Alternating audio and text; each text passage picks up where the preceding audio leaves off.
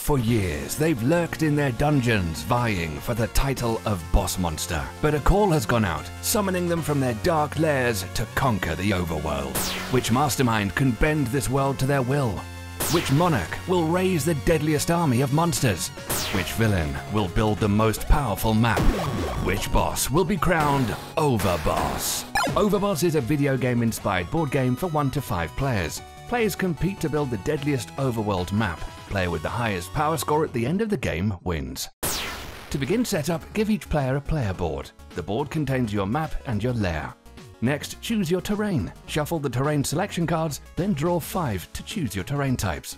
Or if it's your first game, we recommend starting with forests, caves, graveyards, swamps, and camps. Take the 12 corresponding tiles for each terrain type. You always add the 8 dungeon tiles. Shuffle the tiles face down and place them in a stack. Take the 10 monster tokens and 1 crystal token that correspond to the terrains you've chosen. Place them in the token bag, along with the 7 portals and 6 mini bosses. Finally, set up the market. Draw 4 terrain tiles and place them face up on the table. Draw 4 tokens, randomly placing each one next to a terrain tile. Now you're ready to play. Randomly choose a first player. On each turn, a player may draft and place one tile and token pair. Players go around the table as they fill their maps. You can place a terrain tile on any empty square of your map. If you draw a monster or mini-boss token, you must place it on an open terrain tile if one is available. Dungeons are the only kind of tile that may not hold a monster or mini-boss. If you draft a dungeon, you must place its token on another open tile. If you have no open tiles, place the unused token in your lair. On a future turn, you may place it onto a new tile you collect instead of the new token.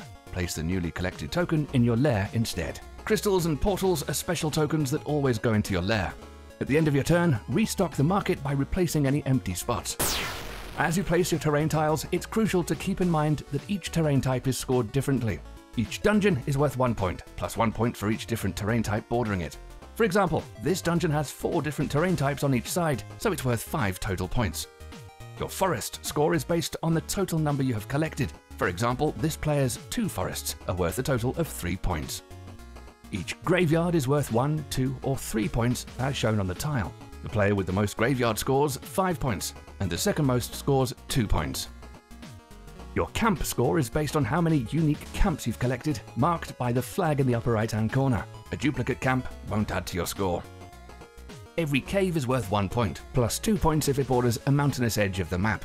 The three caves here are each worth 3 points, for a total of 9.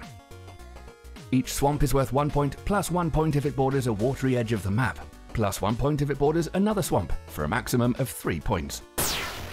Every terrain type has a corresponding monster marked with the same icon. Each monster on its own terrain type is called a matching monster, and it's worth one point at the end of the game. You also get scores for lines of monsters called bands. Bands may be horizontal or vertical, but not diagonal. A monster token may be counted in both a horizontal and a vertical band. Mini bosses are worth 2 points, but do not count towards bands. Crystals are special tokens placed directly in your lair. A crystal gives you one point for each corresponding terrain tile on your map. For example, this player's forest crystal would be worth 2 points. Portals are not worth any points. If you draft a portal, place it in your lair face up. Once per turn, if you have a face up portal, you may flip it face down to move or swap the placement of up to two tokens on your map. At the end of the game, it's time to tally up the score. Fill in your score pad with the terrain tiles you've used this turn, then add up each player's score. In this example, the map has a power of 54, a good score. The player with the highest power score is crowned Overboss. Once you've played the basic game a couple of times, you're ready to add advanced tiles and boss cards. Check out our next video for details on these advanced play options.